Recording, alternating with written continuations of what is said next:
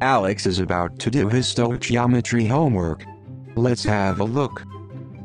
For a certain system, the entropy, delta S, and the enthalpy, delta H, are given. Determine the Gibbs energy, delta G, for this system, at 250 degrees Celsius.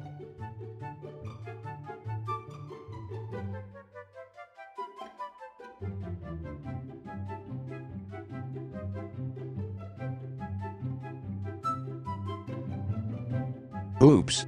Alex you have a sign flaw in your formula. Maybe you should try again.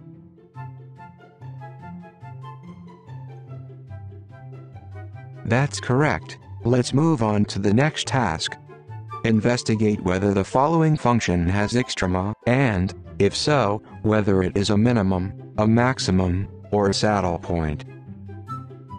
Hmm. Alex this will not work with an integration, you have to differentiate.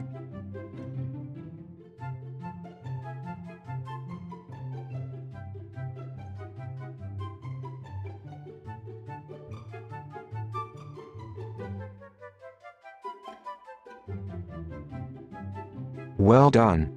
Let's see the next one.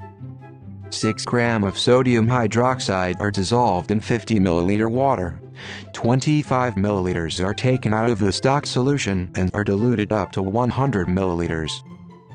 Calculate the concentration of the stock solution, as well as the concentration of the dilution.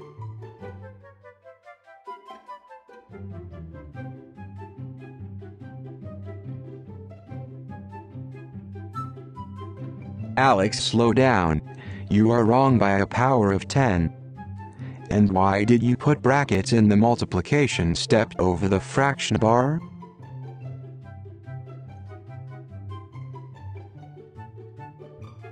That's better. It seems your brain could use some extra energy. Let's see now.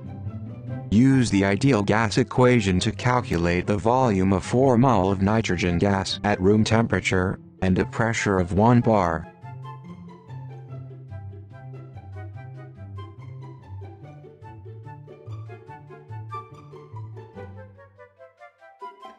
Alex, you have made another mistake. You used degree Celsius instead of Kelvin. Okay, we're done for today. Alex, I advise you not to eat too much chocolate or you'll get fat. Try calculating how long you need to jog to burn all these calories.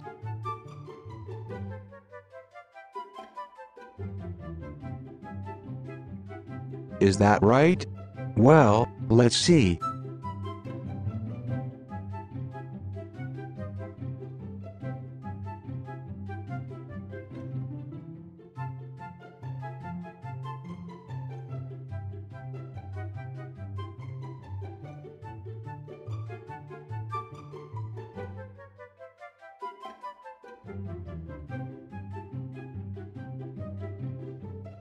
It's no wonder you've gained so much weight.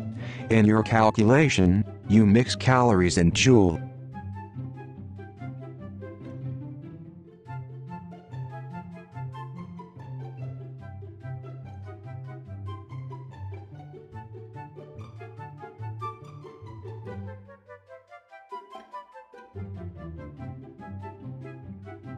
That's right. So I suggest you start a diet.